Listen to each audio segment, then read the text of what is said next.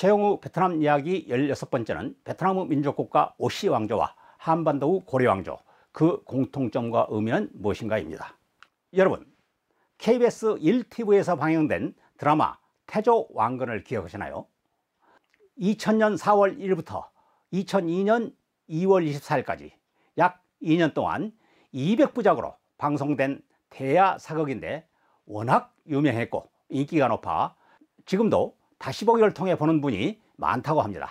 주인공은 크게 3명으로 왕건 역의 최수정, 궁예 역의 김영철, 견훤 역의 서인석입니다. 태조 왕건은 우리나라 사극 역사상 최초로 후 삼국 시대를 다룬 드라마이며 최장기간 방영된 작품이기도 합니다. 또 이 사극을 통해 많은 사람들이 궁예를 제의시하게 되었으며 궁예의 극중 대사가 한동안 유행어가 되기도 했습니다. 뭐니 뭐니 해도 가장 중요한 것은 한반도 민족국가로 고려 건국의 의미를 재인식하게 된 것입니다. 정통 역사, 즉 정사와 사극 드라마는 역사적인 내용이 다를 수밖에 없습니다.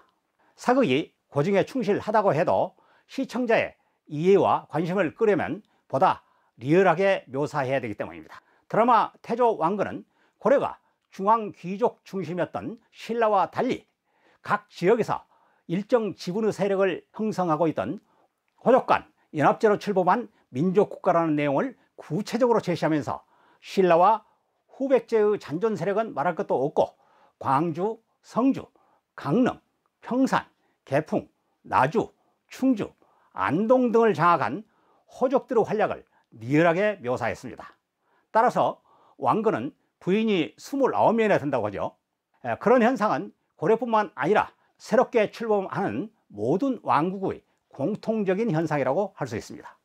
기존의 강고한 기득권 세력을 타파하고 세력을 교체하는 과정에서 여러 세력의 연합은 불가피한 것이니까요. 그 세력 중 강력한 리더를 중심으로 새로운 세력 구도가 형성되면서 기득권 세력을 타파하고 새로운 왕국을 수립하게 되는 것이죠. 이 경우 일정 기간 연합 세력과 권력을 분점할 수밖에 없습니다. 그 권력을 다시 중앙 집권화하는 왕은 대부분 3, 4대 정도의 왕입니다. 고려의 광종이고 조선의 태종이 바로 그런 경우입니다. 베트남의 경우는 좀 특이합니다. 3, 4대 임금까지 가기 전에 왕조가 교체돼 버립니다. 따라서 베트남 왕조는 100년 이내의 왕조가 대부분입니다. 이제 베트남 이야기를 시작하겠습니다. 918년 고려 태조 왕건이 드디어 후삼국 시대를 청산하고 고려 왕국을 창건합니다.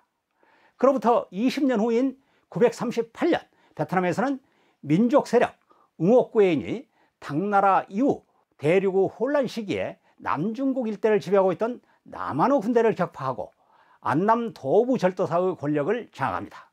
응옥구엔을 우리식 한자 발음으로 읽으면 오권입니다.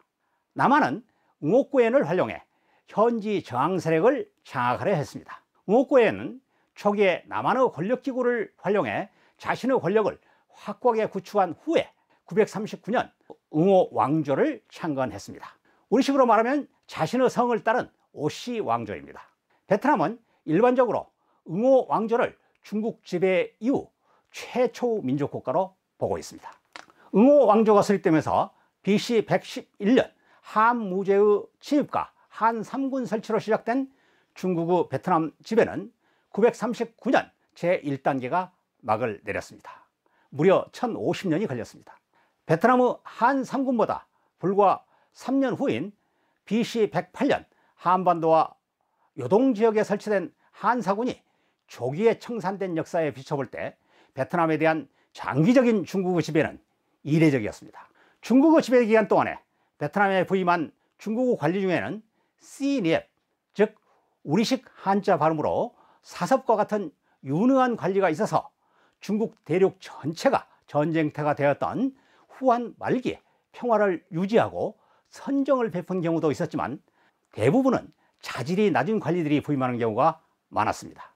교통과 통신이 발달하지 못했던 과거에는 중앙조정으로부터 먼 거리일수록 질이 낮은 관리들이 부임해 수탈을 자행하는 경우가 많았습니다. 그들이 관직을 유지하고 또 영전하기 위한 로비 자금이 필요했기 때문입니다. 따라서 베트남에 부임하는 대부분의 관리들은 수탈이 심했고 베트남 주민들은 격렬하게 저항했습니다. 그렇지만 베트남, 즉 남만에는 상아, 향료, 차 등 진귀한 물품들이 많았기 때문에 중국의 중앙 조정은 그들의 독립을 허용할 수 없었습니다. 이런 요인들이 겹쳐서 관리들의 수탈과 주민들의 저항이 거듭되면서 소규모 세력으로 관리들의 강력한 세력에 맞서는 방법, 즉 게릴라 전술이 발전하게 되었습니다. 하노이 동남 쪽 홍강 델타 지역에는 드넓은 습지가 있고 갈대가 무성한 숲을 이루고 있습니다. 이 갈대숲은 하롱베이의 3천여 개의 섬으로 연결됩니다. 내륙은 무성한 정글로 되어 있습니다. 정글에는 곳곳에 자연 동굴이 형성되어 있고 각종 과일들이 달려 있으며 기온이 온화해 특별한 준비 없이도 생존에 문제가 없습니다. 이런 것들이 게릴라전을 위한 천혜의 조건입니다. 베트남 주민들은 이런 천혜의 자연 조건을 활용해 관리들의 수탈에 저항했습니다. 현지 사정을 잘 알지 못하는 관리들은 게릴라를 잡으러 갔다가 그들의 수렁에 빠지기 안성맞춤입니다. 그렇게 삼국지의 유명한 제갈공명조차도 맹역을 잡지 못하고 칠종칠금했다는 거 아니겠습니까? 여기서 오늘 이야기의 결론을 내겠습니다. 베트남은 939년 응호 왕조를 건국하면서 천여 년에 걸친 중국 지배를 끝내고 민족 국가 시대를 열었다고 보고 있습니다. 그러나 일부는 응호구엔이 938년 남한 세력을 격파한 후 남한의 세력 구조를 그대로 답습한 점과 황제를 칭하지 않은 점을 들어 진정한 민족 국가가 아니었다며 웅호 왕조를 이은 965년의 딘 왕조가 진정한 민족 국가라고 주장하는 베트남 학자도 있습니다. 베트남 사람들은 외세를 자신의 통일이나 국제 정치에 활용하는 것을 극도로 터부시하는 경향과 자부심을 갖고 있습니다. 그런 점에서 저도 한반도에서 외세가 아닌 자체의 호족 연합 세력을 구축해 새로운 왕조를 수립한 고려를 높이 평가합니다.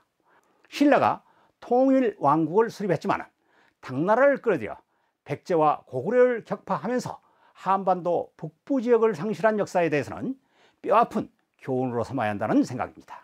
오늘은 우리나라 고려 건국과 베트남의 민족국가 건국에 관련된 공통점과 교훈을 말씀드렸습니다. 제가 역사 전공자는 아니지만 두 나라 역사를 일반적 수준에서 비교해 보면서 오늘 살아가는 우리에게 주는 교훈의 가치가 매우 크다. 그리고 보다 중요한 것은 그 교훈을 잘 활용하는 것이다. 라는 점을 강조하고 싶습니다. 다음 시간에는 베트남과 고려의 무인 정권에 대해 말씀드리겠습니다. 여러분, 다음 시간에 만나요.